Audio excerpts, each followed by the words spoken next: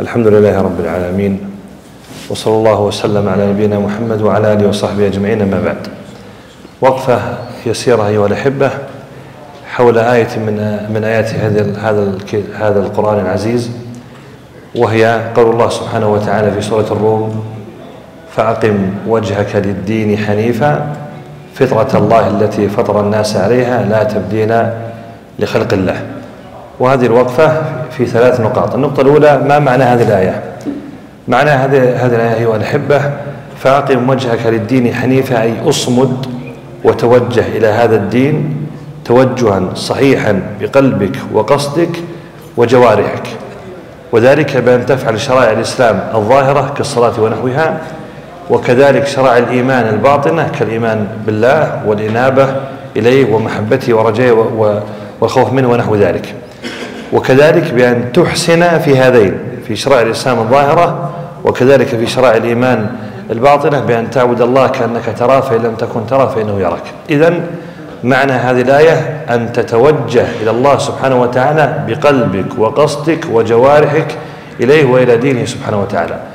الوقفة الثانية أو النقطة الثانية هي في معنى هذه الآية أن الله سبحانه وتعالى يريد منا أن نعمل بهذا الدين عملا قويا صحيحا وأن نكون نأخذ هذا الدين بقوة. كما قال الله سبحانه وتعالى في غير ما آية في القرآن عن بني إسرائيل خذوا ما آتيناكم بقوة. لا تأخذ هذا الدين بضعف. لا تأخذ هذا الدين بهزال. لا تأخذ هذا الدين حسب شهواتك حسب نشاطك حسب رغبتك. إذا كان هذا الشيء تحبه تفعله. إذا كان هذا الشيء ثقل عليك ما تفعله. إذا كنت في حالة سعادة فعلته إذا كنت في حالة غضب ما تفعل لا خذ هذا الدين بقوة. وقال الله سبحانه وتعالى لنبيه موسى عليه السلام فخذ ما أتيتك بقوة. وقال ليحيى عليه السلام يا يحيى خذ الكتاب بقوة. فهذا الدين كما أمر الله سبحانه وتعالى يجب أن نأخذه بقوة وأن نتوجه إليه ونقيم هذا الدين إقامة صحيحة. وقريب من هذا المعنى حديث يعني فيه دعاء كان يقوله النبي صلى الله عليه وسلم في ركوعه وهو دعاء فيه فيه فيه لطافة عجيبة. ثبت عن النبي صلى الله عليه وسلم في حديث علي بن أبي طالب في صحيح مسلم أنه لما ركع سمعه علي يقول اللهم لك ركعت ولك أسلمت وبك آمنت خشع لك سمعي وبصري ومخي وعظمي وعصبي. يعني شوف أنت لا لا تعبد الله سبحانه وتعالى فقط بهذه الأعمال الظاهرة لا. كل ما فيك من عصب ومن عظم ومن سمع ومن بصر ومن مخ ونحو ذلك كلها خشعت لله. فأنت إذا تأملت هذا المعنى تغيرت عبادتك وتغير إيمانك بالله سبحانه وتعالى. فنتوجه إلى الله سبحانه وتعالى توجها صحيحا تاما. يا أيها الذين آمنوا ادخلوا في السلم كافة. ما تأخذ بعض الدين وتترك بعضه حسب يعني هوا يعني هواك ورغباتك. الوقفة الثالثة وأختم بها أيها الأحبة في قوله سبحانه حنيفا. فأقم وجهك للدين حنيفا. حنيفا يعني مائلا عن الشرك إلى التوحيد. والله سبحانه وتعالى كما لا يخفى عليكم في القرآن دائما إذا ذكر الخليل إبراهيم عليه السلام قال حنيفا مسلما. دائما يربط ذكر إبراهيم عليه السلام بأنه كان حنيفا. بل أمر النبي صلى الله عليه وسلم وهو أعظم يعني هو سيد ولد آدم أمره بأن يتبع ملة إبراهيم حنيفا. طيب اذا إبراهيم عليه السلام هو قدوة في التوحيد.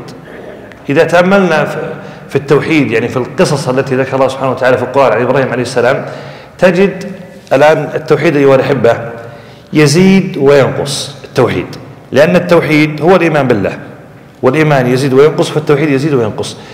ما نقصان التوحيد؟ نقصان التوحيد إذا إذا أعمال القلوب المحبة والخوف والرجاء نقصت عندك نقص توحيدك. وإذا وقعت في شيء من الأقوال أو الأفعال في شيء من الشرك الأصغر نقص توحيدك. وإذا لا أتممت التوحيد في أفعالك وأقوالك وأعمالك القلبية كمن توحيدك. طيب أنا أقف فقط مع الأعمال القلبية. إبراهيم عليه السلام رزقه الله سبحانه وتعالى بإسماعيل عليه السلام وهو على كبر صح ولا لا؟ فأحبه كما يحب الولد يعني كما يحب الوالد يعني ابنه. لكن الله سبحانه وتعالى يريد من إبراهيم عليه السلام مقام عالي. يريد أن لا يقع في قلب إبراهيم عليه السلام منازع في محبة أحد غير الله سبحانه وتعالى. وأنت كلما كثرت محبوباتك من الدنيا من شهواتك وملذاتك وأكلك وشربك والناس الذين من حولك كلما أثر ذلك في محبتك لله. فأمر الله سبحانه وتعالى بأن يذبح ابنه إسماعيل. وهذا شيء عظيم. والقصة يعني تعرفونها طويلة لكن انظر في قوله تعالى فلما أسلم كمل تسليمهما لهذا الأمر. وتله الجبين وناديناه يا إبراهيم قد صدقت الرؤيا. في هذا في هذه اللحظة كمل تسليم إبراهيم عليه السلام وإسلامه لله سبحانه وتعالى. وكذلك إذا رأيت مثل لما يعني كما جاء في أثر ابن عباس لما إبراهيم عليه السلام أراد قومه رميه في النار التي أججوها فترة طويلة. فجاءه جبريل عند الرمي وقال يا إبراهيم ألك إلي حاجة؟ قال أما إليك فلا وأما إلى الله. فنعم حسبي الله ونعم الوكيل. هنا إبراهيم عليه السلام لو طلب من جبريل عليه السلام مساعدته هل في إشكال؟ ما في إشكال صح ولا لا؟ لأن جبريل حاضر وقادر. لكن لأن إبراهيم عليه السلام عنده كمال في التوكل على الله سبحانه وتعالى علم أن هذه النار هي تحرق لأن الله سبحانه وتعالى هو الذي جعل فيها خاصية الإحراق. ومتى ما شاء نزع منها هذا السبب. فلما كمل توكله على الله جعل الله هذه النار بردا وسلاما. وهكذا فتش عن قلبك في محبتك لله وخوفك منه. هل أنت تخاف من غير الله كثيرا؟ إذا عندك إشكال في خوفك من الله. هل أنت تعتمد على غير الله كثيرا من, من يعني بعض الناس ما يذكر التوكل على الله إلا إذا انعدمت الأسباب. ليه؟ معناته أن عندك إشكالية في التوكل على الله سبحانه وتعالى وإنما التوكل يكون دائما وفي كل حال تكون متوكل على الله سبحانه وتعالى التوكل الصحيح وبهذا يقوى توحيدك وبضده ينقص توحيدك. أسأل الله سبحانه وتعالى أن يهبنا وإياكم إيمانا صادقا ويقينا راسخا وأن يغفر لنا ولوالدينا ولجميع المسلمين والله أعلم. وصلى الله وسلم على نبينا محمد وعلى آله وصحبه أجمعين. وجزاكم الله خير.